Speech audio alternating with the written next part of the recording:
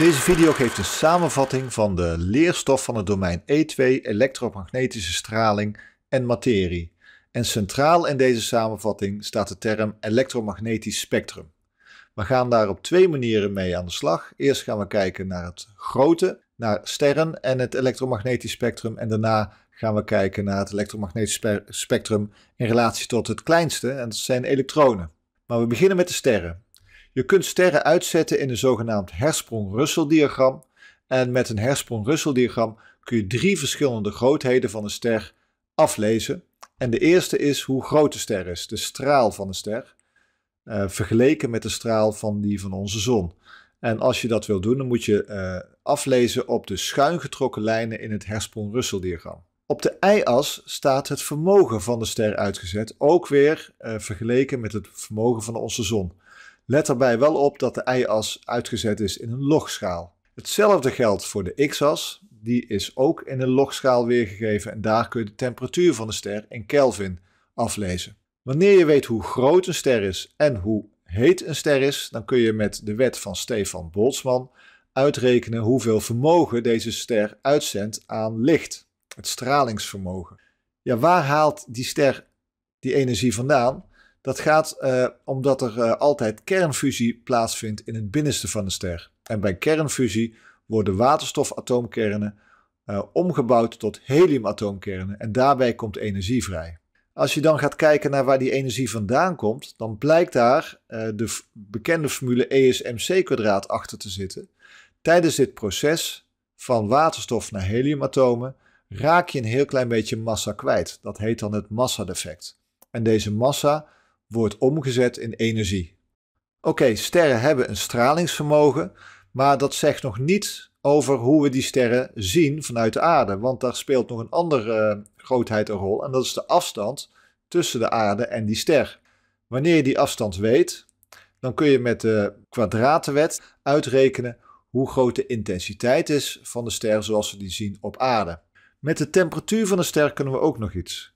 Want als je gaat kijken naar de temperatuur van de ster en je gaat uh, uh, het spectrum van de ster meten, dan blijkt dat daar altijd een maximum in zit. Die, het spectrum van de ster vertoont de zogenaamde Planckromme.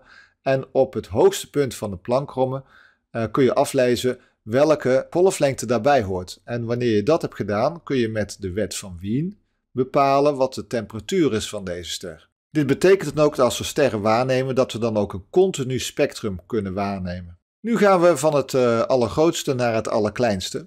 En daarvoor moeten we ons realiseren dat het elektromagnetisch spectrum dat dat bestaat uit losse pakketjes energie. En die pakketjes energie die noemen we fotonen.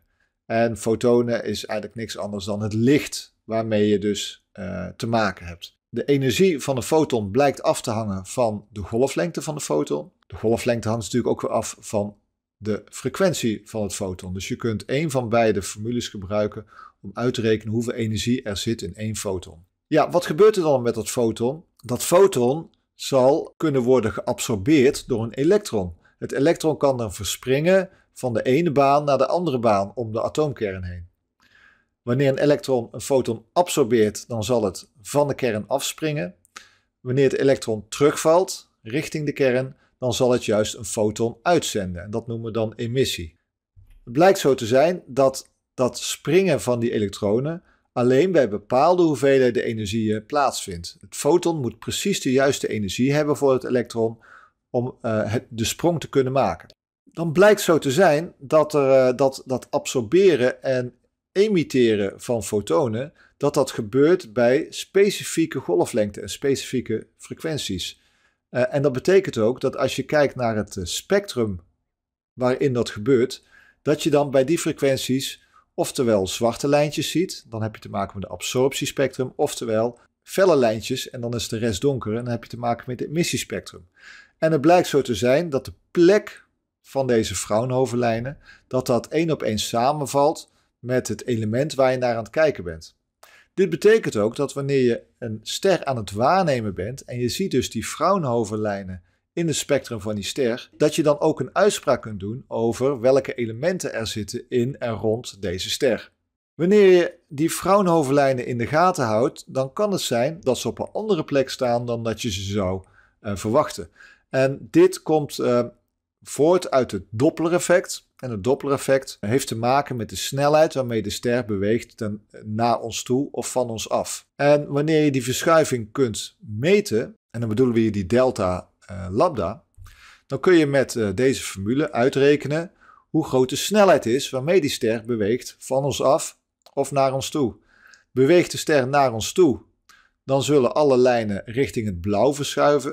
En dan hebben we te maken met een blauwverschuiving.